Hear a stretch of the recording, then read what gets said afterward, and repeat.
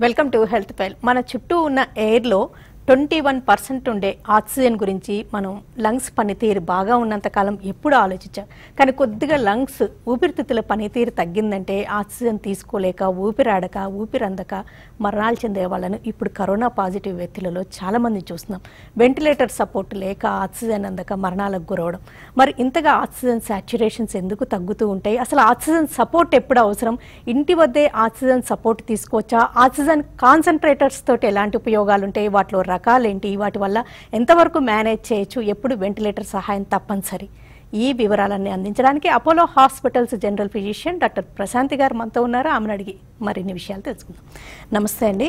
నమస్కారం అండి. అసలు కోవిడ్ పాజిటివ్ ఉన్న వ్యక్తికి ఆక్సిజన్ అవసరము అనేది అంటే కేవలం పల్స్ ఆక్సిమీటర్తోనే గుర్తించగలరా? సిమ్టమ్సా? ఆక్సిజన్ లెవెల్స్ అసలు ఎలాంటి విషయాలు ఎలా అబ్జర్వ్ చేసుకోవాలి? ఆ క్రమం ఒకసారి చెప్పగలరా? యా. సో కోవిడ్ ఇన్ఫెక్షన్ వచ్చిన వాళ్ళకి మూడు రకాలుగా ఎఫెక్ట్ అవుతుందండి. Mild moderate severe. So mild వాళ్ళకి మామూలుగా ఆక్సిజన్ అవసరం ఉండదు. మోడరేట్ ఉన్న వాళ్ళు సివియర్ ఉన్న వాళ్ళకి ఆక్సిజన్ అవసరము. సివియర్ వాళ్ళకైతే ఆక్సిజన్ అవసరం అవుతుంది మోడరేట్ వాళ్ళకు కూడా అవసరం అవుతుంది. దీన్ని కనుక్కోవడానికి మనం ఇంట్లో ఉన్నప్పుడు మన శ్వాస తీసుకునే రేట్ అంటే రెస్పిరేటరీ రేట్ మనము గమనించాల. అది ట్వంటీ ఫోర్ కంటే ఎక్కువ ఉన్నప్పుడు ఆక్సిజన్ పల్స్ ఆక్సిమీటర్ మనం ఎవరైతే మనము అందరికీ చెప్తున్నామో దాన్ని మనము ఎవ్రీ సిక్స్ అవర్స్కి ఒకసారి చూసుకోవాలి. నైంటీ ఫోర్ నార్మల్ ఏమో మనకు ninety eight ninety nine hundred percent అట్లా చూపిస్తూ ఉంటుంది. సో నైంటీ ఫోర్ కంటే తక్కువ ఉన్నప్పుడు మనము మనకు ఆక్సిజన్ అవసరం అవుతుందేమో మన జబ్బు కొంచెం తీవ్రత ఎక్కువ ఉన్నట్టుంది అని మనము వెంటనే గమనించుకోవాలి. హ్మ్. సో ఇవి రెండు మనము లెక్క పెట్టుకుంటే twenty four respiratory rate per minute above that. తర్వాత oxygen saturation less than ninety four. అలా ఉన్న వాళ్ళకి ఆక్సిజన్ రిక్వైర్మెంట్ ఉండొచ్చు. లంగ్స్ ఎఫెక్ట్ అయినాయి. లంగ్స్లో ఆక్సిజన్ శాతము తక్కువ నుంచి వచ్చే ఆక్సిజన్ ఆక్సిజనేటెడ్ బ్లడ్ తక్కువ ఉంది సో బాడీకి ఆక్సిజన్ తక్కువగా సప్లై అవుతుంది అనేసి మనం కనుక్కోగలుగుతాం ఇంట్లో. ఓకే. అంటే పల్స్ ఆక్సిమీటర్తోనే అబ్జర్వ్ చేసుకోవాలా? వాళ్ళ సిమ్టమ్స్ అనేవి ఎక్కువగా ఇంపార్టెంట్ అంటారా? అంటే సిమ్టమ్స్ చాలా వరకు టెంపరేచర్ ఎక్కువ ఉన్నప్పుడు మరీ ఎక్కువ ఉన్నప్పుడు మనము ఆక్సిజన్ గురించి మాట్లాడినప్పుడు ఇవి రెండు.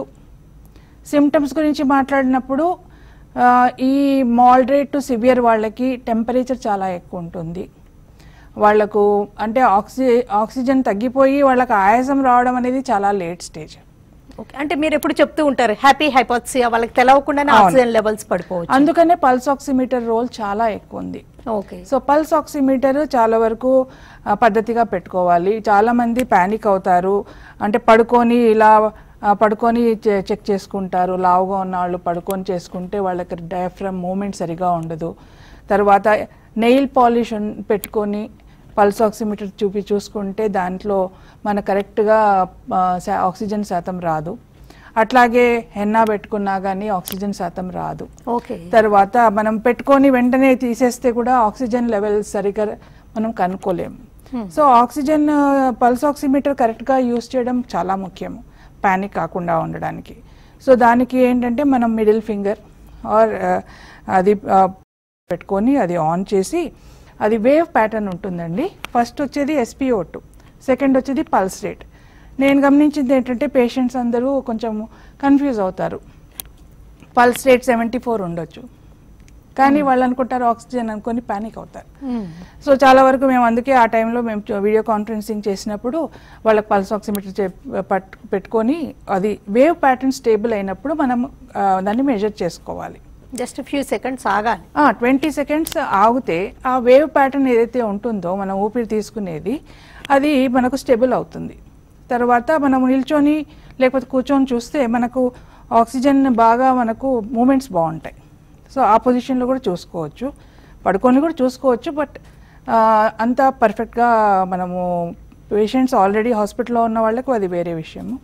కానీ this is the correct method for normal people who test their oxygen saturations with pulse oximeter so ఈ ప్రికాషన్స్ తీసుకొని కరెక్ట్ పల్స్ ఆక్సిమీటర్ మెజర్ మనం చేస్తే మనకు ఈ ఆక్సిజన్ శాతం ఎంత ఉందో తెలుస్తుంది. అలాగే సిక్స్ మినిట్ వాక్ టెస్ట్ అని ఉంది. ప్రతి ఒక్క కోవిడ్ పేషెంట్ వాళ్ళకు వచ్చే when they want to check the pulse oximeter saturations వాళ్ళు రోజుకు రెండు సార్లు అయినా సిక్స్ మినిట్ వాక్ టెస్ట్ అని ఉంటుంది. మోర్ దెన్ ఫిఫ్టీ ఇయర్స్ వాళ్ళు త్రీ మినిట్స్ చేస్తే సరిపోతుంది. లెస్ దెన్ ఫిఫ్టీ ఇయర్స్ వాళ్ళకి సిక్స్ మినిట్స్ సో మనము వాక్ చేసే ముందు ఫస్ట్ ఆక్సిజన్ సాచురేషన్ చెక్ చేసుకోవాలి. చేసుకొని అది నోట్ చేసుకోవాలి. తర్వాత సిక్స్ మినిట్స్ కంటిన్యూస్గా వాళ్ళ ఇన్- ఉన్న ప్రదేశంలోనే వాక్ చేసి మళ్ళీ ఆక్సిమీటర్ పెట్టుకొని చూసుకొని ముందు దానికి రెండో దానికి five percent or four millimetres of mercury అంటే ఇప్పుడు నైంటీ నైన్ ఫస్ట్ ఉందనుకోండి. అది నైంటీ త్రీ పడిపోయింది అనుకోండి సో ఆ six minute walk test positive అనమాట అంటే వాళ్ళకి ఆక్సిజన్ అంతగా అందడం లేదు. అండ్ వాళ్ళకి ఆక్సిజన్ తీసుకునే అవకాశం ఎక్కువ ఉంటుంది అనేది అది ఇండికేషన్ Hmm. సో ఇవి క్లూస్ ఈ క్లూస్ తీసుకొని మనం ముందే ప్రిపేర్ అయిపోయి వెంటనే డాక్టర్ని సంప్రదించాలి. దగ్గరలో వెళ్ళే దగ్గరలో ఉన్న ఎమర్జెన్సీకి వెళ్ళి చూపించుకోవాలి. చూపించుకున్న తర్వాత వాళ్ళు అసెస్మెంట్ చేస్తారు. ఇప్పుడు అసెస్మెంట్ చేసి వీళ్ళకి నిజంగా ఆక్సిజన్ అవసరమా లేదా అనేది వీళ్ళు కరెక్ట్గా పరీక్ష చేసిన తర్వాత కొన్ని టెస్టులు చేస్తాము. అన్నీ చేసిన తర్వాత దాన్ని బట్టి మనము ఆక్సిజన్ రిక్వైర్మెంట్ అడ్మిషన్ ఇవన్నీ మనం ప్లాన్ చేస్తాం. వాళ్ళు వార్డులో ఉండొచ్చా? లేకపోతే వాళ్ళు ఐసీయూకి వెళ్ళాలా అనేది కూడా డాక్టర్ నిర్ణయిస్తారు. ఎంత శాతం ఆక్సిజన్ ఇవ్వాలనేది కూడా డాక్టర్ నిర్ణయిస్తారు. ఓకే. సో స్వతహాగా తీసుకున్నప్పుడు చాలా ప్రమాదాలు ఉంటాయి. ఇప్పుడు దేశమంతా ఆక్సిజన్ ఎక్సిజెన్సీ. అంటే ఓటు ఎస్ఓఎస్ ఎమర్జెన్సీ మెడిసిన్ ఇంకా కొన్ని మెడిసిన్స్ రెమ్డెసివిర్ తులసిజుమాబు ఇలాంటి మెడిసిన్స్ కూడా బాగా స్కేర్సిటీ ఉంది. మరీ ముఖ్యంగా అందరినీ భయపెడుతుంది ఏంటంటే ఆక్సిజన్ అవసరమైనప్పుడు అందదేమో ఊపిరాడక మరణాలను చూసి చాలా పానిక్ అవుతున్నారు.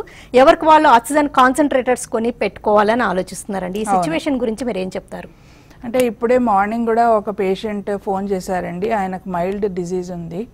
కానీ ఆల్రెడీ లెవెన్త్ డే ఇల్నెస్ చాలా వరకు ఇట్లాంటి వాళ్ళు ఆయన అడిగింది ఏంటంటే నేను ఆక్సిజన్ కాన్సన్ట్రేటర్ కొనుక్కొని పెట్టుకోవాలనుకుంటున్నాను.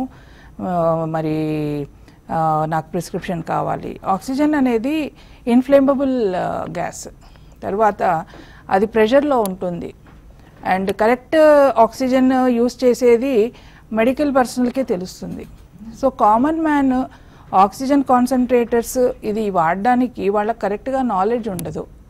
సో ప్రమాదాలు వచ్చే అవకాశం ఎక్కువ ఉంటుంది. అంటే కొంతమంది కోవిడ్ విషయం మనకి పోస్ట్ కోవిడ్ వాళ్ళకి ఆక్సిజన్ మనము అడ్వైస్ చేస్తాము ఇంట్లో తీసుకోమని. కానీ వాళ్ళకు మనము చూపిస్తాం ఎలా యూస్ చేయాలి ఎంత యూస్ చేయాలి ఎంత శాతం ఉంటే ఎంత ఆక్సిజన్ ఇవ్వాలి అనేది ముందే డాక్టర్ కరెక్ట్గా అసెస్ చేసి ఉంటారు కాబట్టి అట్లాంటి పేషెంట్కి ఆక్సిజన్ ఎంత శాతం ఇవ్వాలి ఎంతవరకు ఇవ్వాలి రాత్రి ఇవ్వాలా రోజంతా ఇవ్వాలా అనేది డాక్టర్ అడ్వైస్ చేస్తారండి. కానీ పోస్ట్ కోవిడ్ అంటే హాస్పిటల్ అడ్మిట్ అయ్యి వాళ్ళకి ట్రీట్మెంట్ ఇచ్చిన తర్వాత కొన్ని రోజులు లంగ్ డ్యామేజ్ ఎక్కువ ఉన్నందుకు ఆ, కొంచెం సపోర్టివ్ ఆక్సిజన్ థెరపీ ఇస్తారు. సో ఇది ఇంకో condition where oxygen is given. కానీ చాలామంది ఏం చేస్తున్నారంటే నాకు ఆక్సిజన్ కాన్సన్ట్రేటెడ్ ఇంట్లో పెట్టుకుంటే హాస్పిటలైజేషన్ అడ్వై అవాయిడ్ చేయొచ్చు. తర్వాత మేము ఖర్చులు పెట్టుకోవాల్సిన అవసరం ఉండదు అనేసి సొంత నిర్ణయాలు తీసుకుంటున్నారు. అది చాలా ప్రమాదకరం. అంటే ఆక్సిజన్ లేకపోవడం అనేది అది చాలా ఎమర్జెన్సీ కదండి. మిగతా మెడిసిన్స్ అయితే మేనేజ్ చేయగలరు. అంటే ఆ టైంకి వాళ్ళకి కొన్ని ఫ్యూ మినిట్స్ ఆక్సిజన్ అందకపోవడం అనేది చాలా ప్రాణాంతకమైన విషయం చెప్తాను. మెయిన్ థింగ్ చాలా మంది ఎందుకు అలా సీరియస్ సీరియస్ అయినప్పుడు హాస్పిటల్లో ఆక్సిజన్ అందకుండా చనిపోతున్నారు అంటే వాళ్ళు ఫస్ట్ వార్నింగ్ సిగ్నల్స్ ఏది మనము ఇచ్చేయడం లేదు. ఇప్పటికీ ఇది సెకండ్ వేవ్ స్టార్ట్ అయ్యి మోర్ దెన్ వన్ మంత్ అయిపోయినా కానీ చాలామంది వాళ్ళకు వచ్చిన జ్వరంని కోవిడ్ కాదు అనుకుంటున్నారు. ఇప్పటికీ అనుకుంటున్నారు. తర్వాత క్యాజువల్గా ఉంటున్నారు. డాక్టర్ తోటి చాలా వరకు కన్సల్టేషన్ తీసుకోవడం లేదు. వాళ్ళు వాట్సాప్లో న్యూస్ పేపర్లో తర్వాత వాళ్ళ ఫ్రెండ్స్ వాళ్ళ రిలేటివ్స్కి ఇచ్చిన ట్రీట్మెంట్ అదే ట్రీట్మెంట్ వాళ్ళకు కూడా వర్తిస్తుంది అనేసి వాళ్ళు తీసుకుంటున్నారు.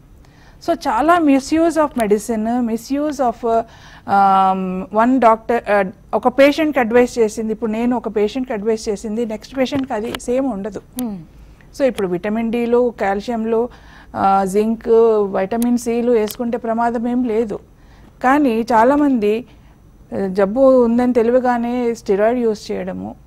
చాలా రకరకాలుగా యాంటీప్లేట్లెట్ ఏజెంట్స్ యూస్ చేయడం అంటే అది ఏదో ఆ, వా- అది వాడుతున్నారు. మేము డాక్టర్స్ మేము అవి వాడే ముందు పదిసార్లు ఆలోచించి వాడతాం. ఇది కరెక్టా కాదా అని. కానీ చాలామంది నెగ్లిజెన్స్ వల్ల ఇనీషియల్ కోవిడ్లో డాక్టర్తో సంప్రదించకుండా స్వంత ట్రీట్మెంట్లు తీసుకొని ఈ ఆక్సిజన్ కాన్సన్ట్రేటర్స్ కూడా.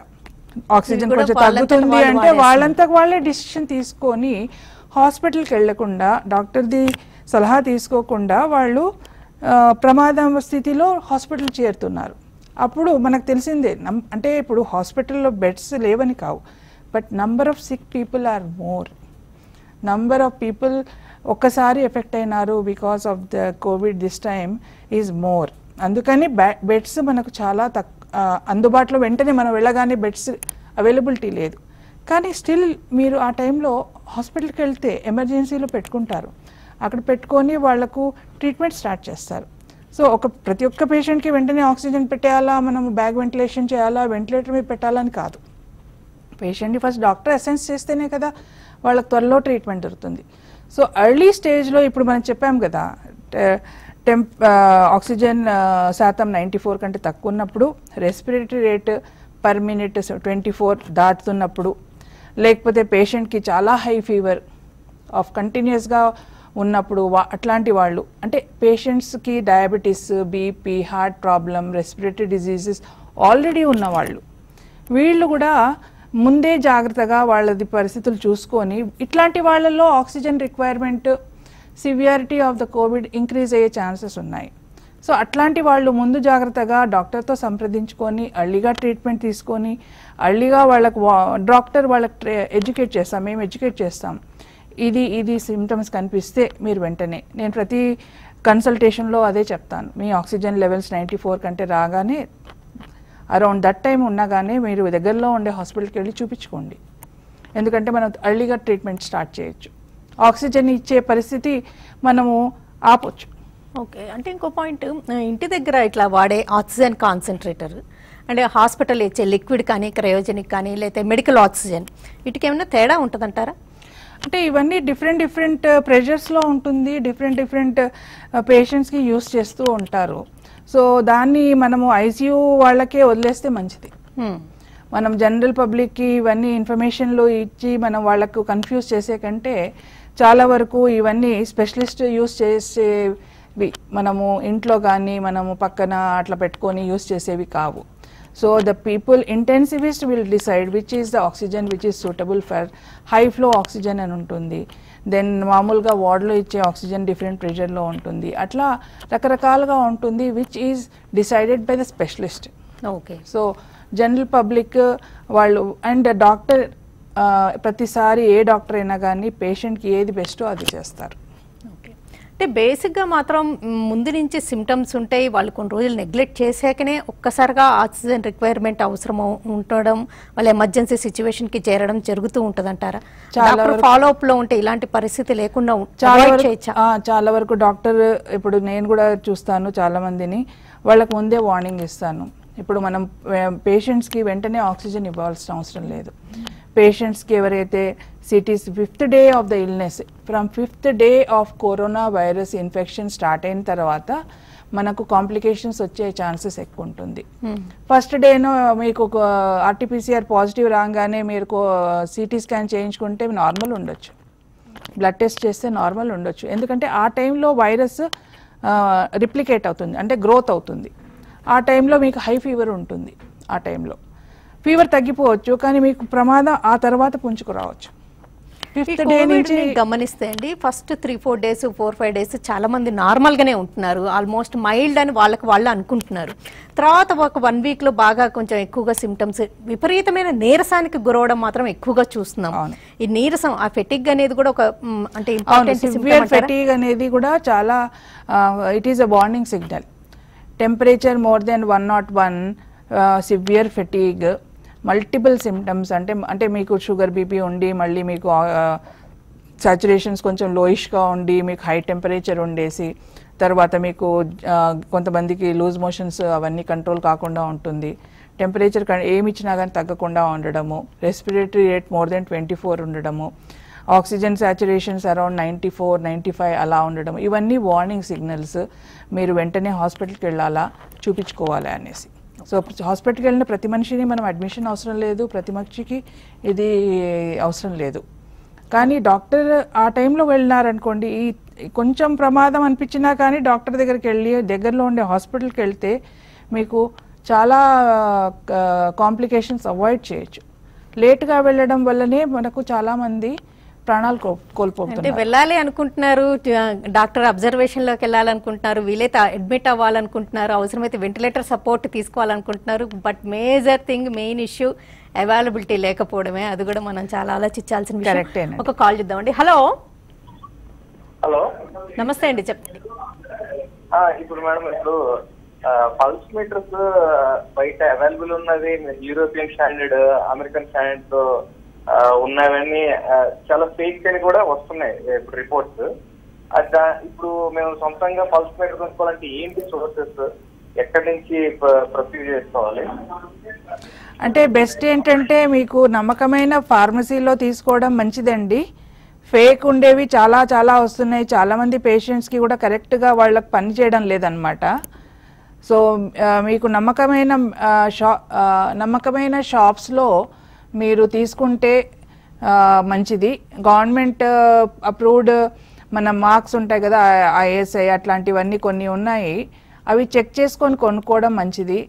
అదే కానీ ఆన్లైన్ ఏదైనా షా దీంట్లో ఆర్డర్ చేస్తే మీకు వచ్చేది ఫేక్ ఉండొచ్చేమో అని అంటే నే నా నా దీంట్లో ఎక్స్పీరియన్స్లో అయితే నేను అంతగా ఇది వినలేదు. బట్ ఆల్వేస్ ఎప్పుడైనా మనకు I know it is they are so many things which are happening in this world చాలా రైట్ నౌ ఇంపార్టెంట్ డివైస్ కాబట్టి ఇప్పుడు ఒక. మంచి నమ్మకం ఉన్న ప్లేస్కి వెళ్ళి తీసుకోవడం నమ్మకం ఆన్లైన్. కంటే. బెటర్ అంటారు. అవునంట ఒక కాల్ చూద్దామండి హలో హలో నమస్తే చెప్పండి. నమస్తే మేడం. మేడం ఇది రెమెడీ ఫీవర్ బాగా I think I pronounce rightly. ఇవి పనిచేయవు అన్నప్పుడు డాక్టర్స్ ఎందుకు ప్రిస్క్రైబ్ చేస్తున్నారు? దీనికోసం జనం ఎందుకు పరిగెత్తున్నారు? అది నాకు అర్థం కాలేదు. మరి టీవీలో మీ టీవీలో కూడా చూశాను. చాలా మంది డాక్టర్స్ దీనికి అంత ఎఫెక్ట్ ఉండదు. They are taking a chance on the patient so why doctors are contradictory statements ఎందుకు ఇస్తున్నారు? ప్రజలు ఎందుకు దీనికోసం పరిగెత్తున్నారు? అదర్ కంట్రీస్ నుంచి ఎందుకు తెచ్చుకుంటున్నారు? ఫస్ట్ మాట. రెమ్డెసివిర్ మెడిసిన్ అంత లైఫ్ సేవింగ్ కాదు అంత అష్యూరింగ్ మెడిసిన్ కాదు అన్నప్పుడు అసలు ఎందుకు సజెస్ట్ చేస్తున్నారు? ఎందుకు ఇంత స్కేర్ సిటీ ఉంది? ఎందుకు పబ్లిక్ పరిగెడుతున్నారు? సో ఆయన చెప్పిన దాంట్లో కొంచెము నిజం ఉంది Hmm. రెమ్డెసివిర్ అనేది it is not the treatment of choice for Covid nineteen అది నంబర్ ఆఫ్ హాస్ డేస్ ఇన్ హాస్పిటల్ స్టే తగ్గిస్తుంది. తర్వాత అంతగా మోర్టాలిటీ రేట్ అర్లీగా ఇస్తే మోర్టాలిటీ రేట్ అంటే హాస్ తొందరగా రికవర్ అయ్యే ఛాన్సెస్ ఉంటాయి కాబట్టి డాక్టర్స్ ఇస్తున్నారు. కానీ ప్రస్తుతం మన పరిస్థితుల్లో ఉన్న పరిస్థితుల్లో ఈ డ్రగ్ అంటే ఇప్పుడు మలేరియాకి క్లోరోక్విన్ ఇస్తాము ఆర్టిసినేట్ ఇస్తాము అని ఇప్పుడు షుగర్కి ఈ ట్రీట్మెంట్ ఉంది బీపీకి ఈ ట్రీట్మెంట్ ఉంది అని మనకు కన్ఫర్మ్డ్గా తెలుసు ఇది ఇవ్వాలని. అదే కోవిడ్ నైన్టీన్లో బికాస్ మ్యూటేషన్స్ ఎక్కువ ఉంటున్నాయి ఇది కొత్త వైరస్ దీనికి కరెక్ట్గా ఏ యాంటీవైరల్ తోటి మనం ట్రీట్మెంట్ ఇస్తామనేది మనకి ఇంకా కరెక్ట్గా తెలియదు ఇప్పుడు ఎక్స్పెరిమెంట్ చేస్తున్నారని జనాలు ఏదో వీడియోలు అవి ఇవి పెడుతున్నారు. సి ఏదైనా డాక్టర్ మనము ఎక్స్పెరిమెంట్ చేయడం లేదు.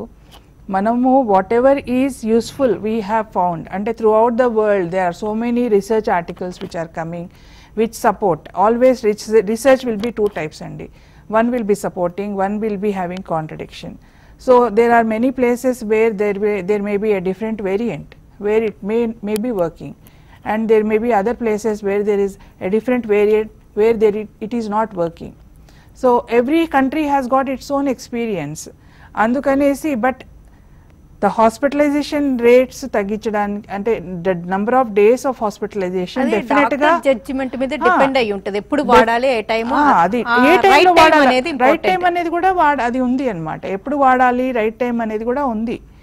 సో ఇట్ ఈస్ జనరల్గా ఓవరాల్గా రీసెర్చ్ మెథడ్స్లో చూసుకుంటే it is not the treatment of choice but it has benefits కానీ ఒక ఆర్టికల్ చూసామంటే రెమ్డెసివిర్ వీటన్నిటికంటే టొల్సిమోజిమాబ్ కరెక్ట్ అది వాడిన అంటే మీరు ఒకటి అర్థం చేసుకోవాలి.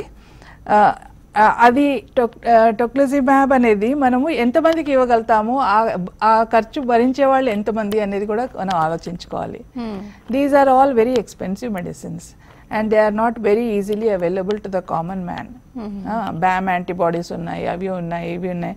బట్ ప్రతి హాస్పిటల్లో అవైలబుల్ కాదు ఇది. అవును చాలా స్కేర్సిటీ ఉంది స్కేర్సిటీ కాదు it is not available so అంటే అమెరికాలో కూడా కష్టమే వాళ్ళకి అవన్నీ ప్రొక్రూట్ చేసుకోవడం. So availability to common man. For this medicines is very very remote chance అందుకనే దే ఆర్ వెరీ ఎక్స్పెన్సివ్ అంటే ఇవన్నీ doctor treatment modality patient. Respond అయ్యే తీరు కోవిడ్ వాళ్ళ వాళ్ళ ఎంత అగ్రెసివ్ ఉంది ఇవన్నీ పాయింట్స్ మీరు జడ్జి చేసి చేస్తుంటారు డాక్టర్ పర్యవేక్షణలో ఉన్నప్పుడు డాక్టర్ చెప్పగలుగుతాడు ఓకే అసలు ఫస్ట్ ఆఫ్ ఆల్ అండి ఫస్ట్ వన్ వీక్ అంటే సెకండ్ వన్ వీక్ బాగా క్రూషియల్ అంటుంటారు. సెకండ్ వన్ వీక్ ఓవర్కమ్ అయ్యారంటే ఇంకా వాళ్ళు కోవిడ్ పేషెంటా వ్యక్తి పాజిటివ్ ఉన్న పర్సన్ అవుట్ ఆఫ్ డేంజర్ అనుకోవచ్చా? వాళ్ళు ఇంకా ఎలాగా ఫాలో అప్ చేసుకోవాలి ఇన్ జనరల్? స్టేట్మెంట్ ఏంటంటే two weeks by eleventh day the virus will stop replicating అని. Hmm. బట్ సిక్ చాలా సిక్ ఉన్న వాళ్ళు చాలా సీరియస్ ఉన్న వాళ్ళు who are requiring ventilatory strong the main thing which is very dreaded for every physician and every intensivist is the cytokine storm so మీ బాడీలో ఉత్పత్తి అయ్యే పదార్థాలే మీ బాడీని డిస్ట్రాయ్ చేయడం అనమాట సో ఆ సైటోకైన్ స్ట్రామ్ అనేది లంగ్ ఎఫెక్ట్ అవుతుంది. అది రాకముందే మనం ట్రీట్మెంట్ ఇస్తే ఛాన్సెస్ బాగుంటుంది. కానీ వైరల్ ఇది ఇట్లాంటి సైటోకైన్ స్ట్రామ్ది అనేది దానికి మనము కొంతమందికి సెకండ్ టైం వస్తుంది థర్డ్ టైం వస్తుంది. సో ఎన్ని రోజులు వాళ్ళు వెంటిలేటర్ మీద ఉంటారు? ఇప్పుడు మీరు ఎస్పి బాలసుబ్రహ్మణ్యంని చూశారు. ఆయనకి it was a ongoing disease it was a ongoing disease అట్లా ఉంటుంది viral replication may stop but the bodies reaction to that virus may be intense so in general నేను చెప్తున్నాను కదా ఒక less than five percent will have very severe disease but these people the normal things which we talk మీరు చెప్తున్నట్టు may not hold good ఓకేనండి doctor Prashanth గారు thanks a lot అండి. Corona second wave చాలా ఉధృతంగా ఉంది. పాజిటివ్ అనేది చాలా కామన్గా వింటున్నాము. అయితే పాజిటివ్ రాగానే కంగారు పడిపోయి భయపడిపోయి మనోధైర్యాన్ని కోల్పోకుండా ఫస్ట్ అసలు వాళ్ళలో ఎలా ఉంది లక్షణాలు అవన్నీ అబ్జర్వ్ చేసుకుంటూ ఆక్సిజన్ లెవెల్స్ తగ్గుతుంటే డాక్టర్ కన్సల్టేషన్ ప్రకారం డాక్టర్ సలహా ప్రకారం మెడిసిన్స్ వాడుతూ ఇంకా తగ్గితే తప్పనిసరిగా డాక్టర్ సలహా మేరకే ఆక్సిజన్ సపోర్ట్ కానీ ఇలాంటివన్నీ తీసుకోవడం బెటర్ అని. అంతేకాకుండా మెడిసిన్స్ కానీ ఆక్సిజన్ కానీ వాళ్ళు ఇష్టం వచ్చినట్టు తీసుకోవడం వల్ల కూడా ప్రమాదాలకు గురవుతుంటారని. స్టిరాయిడ్స్ వల్ల అనేక రకాల సైడ్ ఎఫెక్ట్స్ ఉంటాయని కూడా డాక్టర్స్ చెప్పారు కాబట్టి ఈ విషయాలన్నీ అబ్జర్వ్ చేసుకుంటూ సరైన జాగ్రత్త తీసుకుని రైట్ టైంలో రైట్ టైం రైట్ ట్రీట్మెంట్ తీసుకోవడం ధైర్యంగా ఉండడం చాలా ఇంపార్టెంట్ అని. అపోలో హాస్పిటల్స్ డాక్టర్ ప్రశాంత్ గారు తెలియజేశారు. ఇది వాళ్ళ health file keep watching TV five